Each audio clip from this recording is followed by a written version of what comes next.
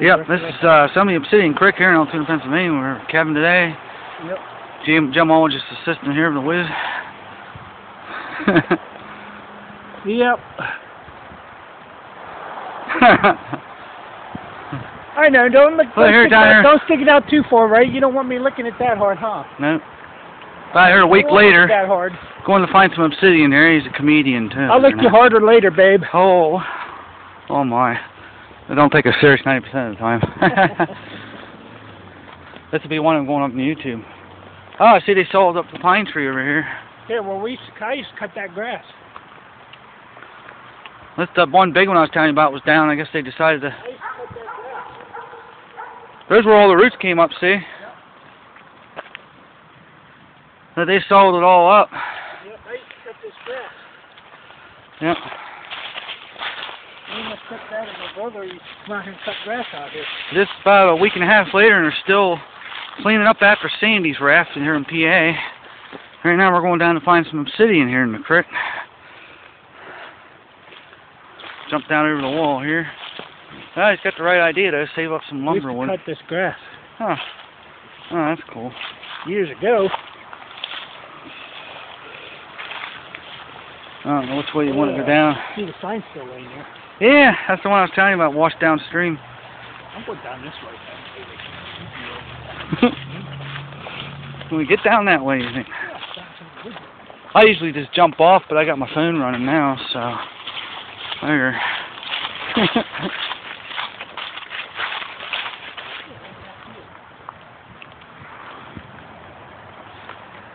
yeah, let's just get down along the water, know. Everybody's got waterproof boots here. Woohoo! Whoa! There's a slippery rock right there, man.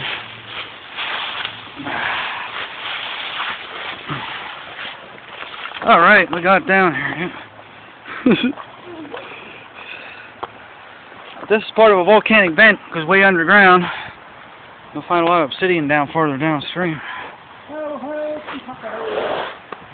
And you might run into them once in a while. They do pass through like everybody else. we got a hunter down here with us today.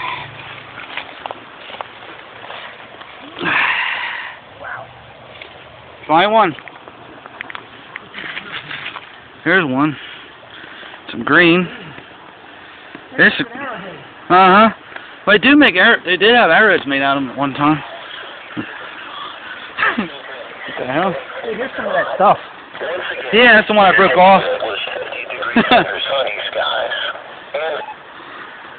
Alrighty.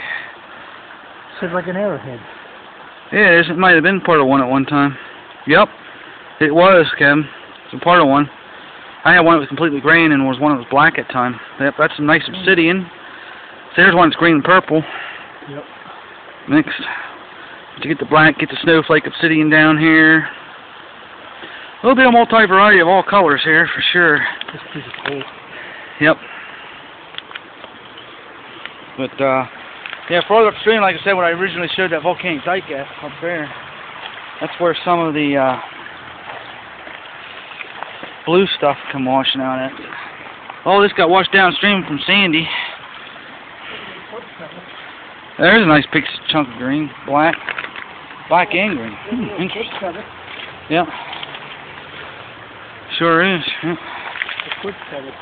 So I said there's a lot of different ones down here now since that rain we had from that hurricane. A lot of high wind. All kinds of stuff washed down here. It's a pretty big chunk there, see? Black and gray. Keep that one. Yeah.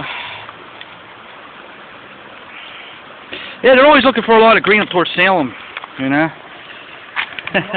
A lot of green stuff down south. yeah. I know.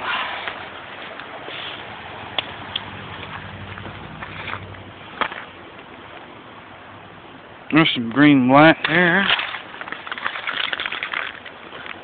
There's some tobacco there. Yep, tobacco cigs. Well, There's a piece of shaped glass. ooh, there's a piece. Look at that. Look at this shaped glass.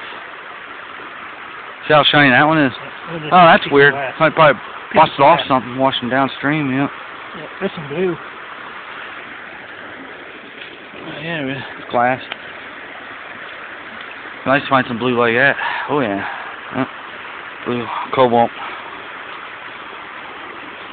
But yep, that gives you a little brief tutorial.